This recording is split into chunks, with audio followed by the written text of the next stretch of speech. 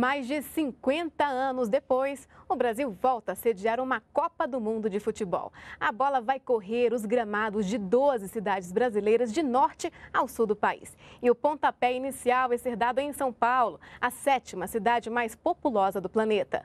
No dia 12 de junho, todos os olhos vão estar voltados para o Itaquerão, palco do jogo de abertura Brasil e Croácia.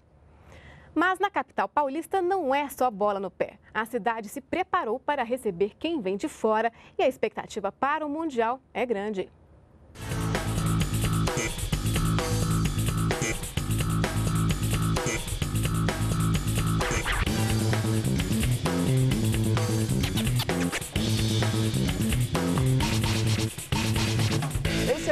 É o Marco Zero de São Paulo. Indica o centro geográfico de uma cidade mundialmente conhecida como importante polo econômico, cultural e político. Tudo começou 460 anos atrás, quando padres jesuítas fundaram uma vila e monumentos até hoje mantêm essa história na realidade de paulistanos e turistas, como é o caso da Catedral da Sé.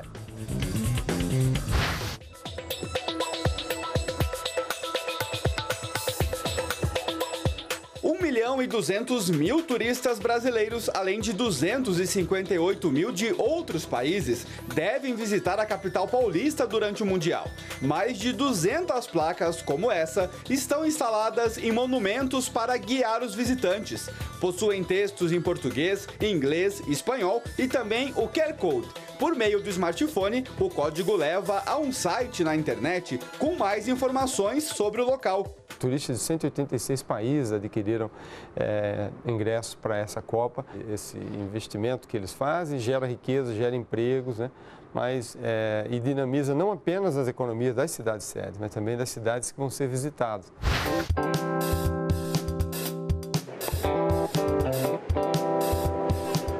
O mercado municipal, mais conhecido como Mercadão, é parada obrigatória na capital. Opções não faltam especiarias e temperos para todos os gostos. O Felipe trabalha aqui nessa banca do Mercadão e já tem até ingresso para assistir um dos jogos da Copa.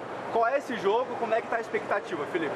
A expectativa é muito grande, estou esperando o jogo da semifinal aqui na Arena Corinthians. Uhum. E você conseguiu liberação fácil? Amaury, você que é o gerente dele, conta aí como é que foi essa história. Não, não, tá liberado, ele vai poder assistir o jogo e espero que ele venha dar sorte, né? Que o Brasil venha ganhar a semifinal. São tantas delícias que até Miss abandona a dieta e mandam um recado para a seleção.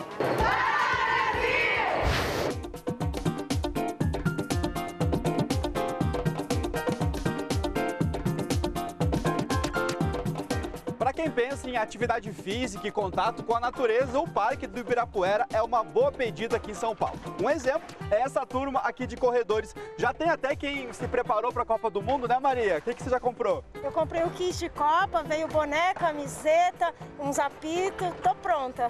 E o Doroteu mora lá perto do Itaquerão estádio, que vai receber a abertura dos jogos. O que, que você já percebe de melhorias na sua região? É, as ruas, limparam a rua todas, fizeram viadutos, e tá muito legal lá no cinema. E a Hilda tá na expectativa também do Mundial, né? Como é que vai acompanhar os jogos? Acompanhando junto com a família, em casa, comendo uma pipoca.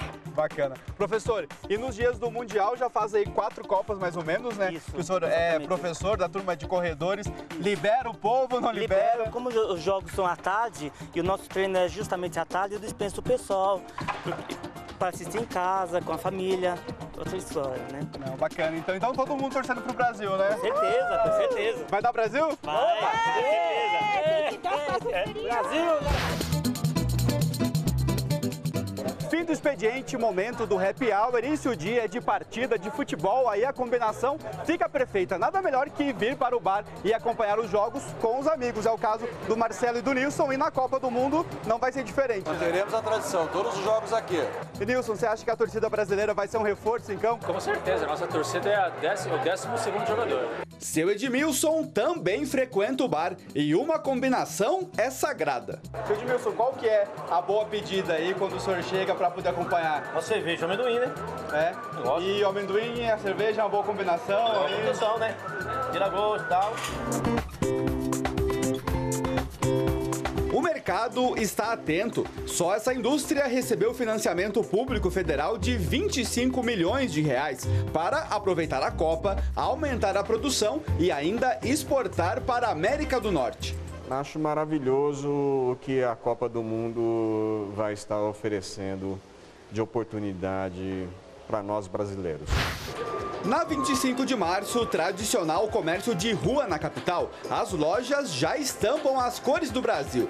Tem corneta, balão, apito e falta pouco para todo mundo torcer pela seleção, assim como a Lidiane. Adoro torcer pro Brasil. Não sou muito de futebol, mas quando a seleção, tô lá de blusa amarela, já comprei a minha.